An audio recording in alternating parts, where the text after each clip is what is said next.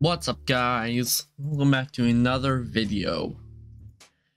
In the last video, I showed you the layout of ClickTeam Fusion. In this one, I'm going to be talking all about objects. All I showed off in the last video was the active object, which is the most important object, but I'd like to show off some others. So to start, you you have the screen. I'm gonna talk about the screen a bit. Um, you have quite a few options here. Uh, since I have a bunch of extra um things like Firefly and Android, I have those too. But if you're on normal click team or free click team, you won't have those. Um, but what you will have is the manager the extension ant manager, which is basically a bunch of extra objects. So there's like a bunch of extra objects that are very useful in certain cases. And you can just press install on. Let's start with something simple, like a counter, which just stores a value. Uh, so this is it might seem very important. It might be very important to some games, but it's really not that important. It's basically just an alterable value, which also stores numbers, but visual. So for something like health, um, but yeah, you wouldn't use it for much like if say you wanna you wanna add a double jump to your player uh, obviously we're not to be doing that in this video but you'd make that an alterable value to see how many jumps you have left. You wouldn't make that a counter. You wouldn't make that an certain counter counters are very nice to some extent i feel. But let's go ahead and show how you can use a counter let's say every second, subtract from the counter five. Then let's say the counter is equal to 80. It will create a new object, the player, right here.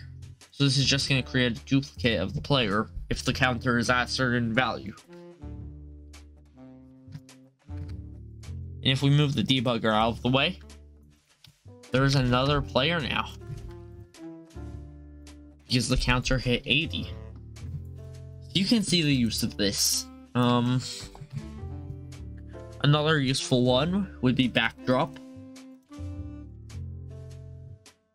Uh, backdrop is just something that will appear behind actives and other objects and stuff and don't really have their own properties. Also very useful for platformers. Um, I'll show you why in the platformer series, but that's quite a ways away. Quite a ways away. But you know, if you want, you can do this, and it'll appear behind everything else. You know, you can use the paint tool to just paint a nice wall,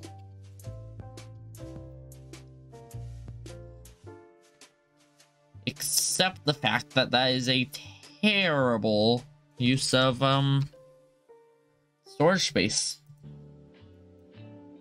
Because you could do that, or even better, well, you could just change the background color of the frame. But yeah, backdrops can be pretty nice. So we'll just put that there. Let's see, what other objects are there? There's the button, which you don't have to use. A lot of people don't use this and they like to just make their own active buttons. You know, actives that just have text on them and you can press them. But if you really do want, which I'm one of those people, I would not recommend it.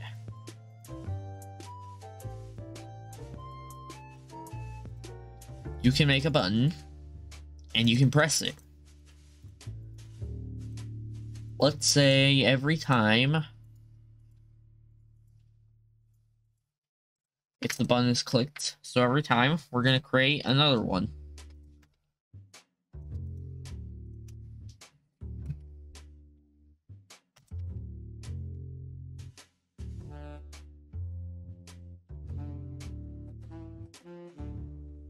Okay, uh, let's, um, there's a demonstration of something you can do. Limit conditions, only one action, one event loops. Super useful. As you can see here. Okay, I think that's actually the whole thing we, we did with the counter. Let's just... Let's just create the object at the object.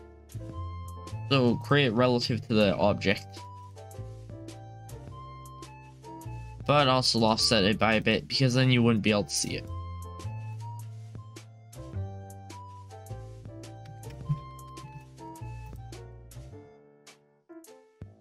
Oh, never mind, you would because it doesn't.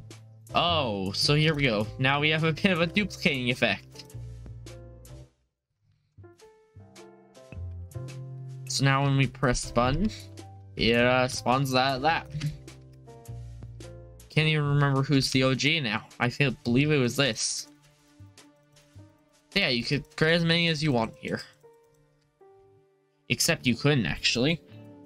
One thing I'd recommend you do is go to your frames properties and change the number of objects to 20,000 I do believe It's the max amount of objects you can have.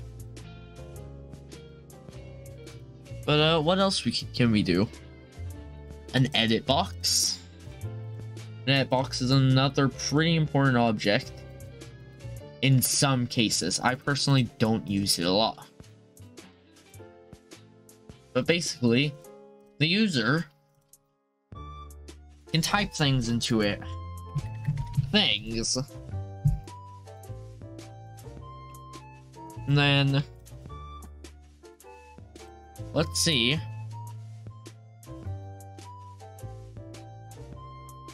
Let's say...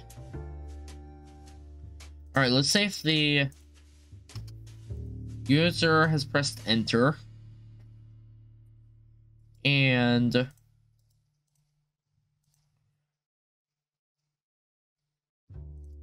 no let's say if it if the user presses enter then we can disable the box. And let's just see what happens there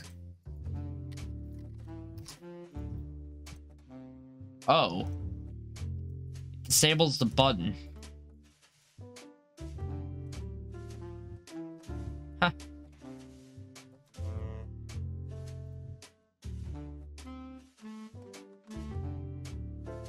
Okay, let's do that. There we go, now it's locked in. Uh, you could probably like, let's say, do an alterable string called player name. And then alterable strings set player name to get text. Now, this wouldn't matter unless you're using it for like dialogue or something. But, you know. It's something nice you can do with objects. That's all for this tutorial. I've shown you some of the important click team objects. Uh, yeah. Stay tuned for next time. We're going to do, uh, we're going to do what the text on screen says. Because I haven't decided yet, I'll put it in editing. Boom. Alright, that's all for today. Bye, guys.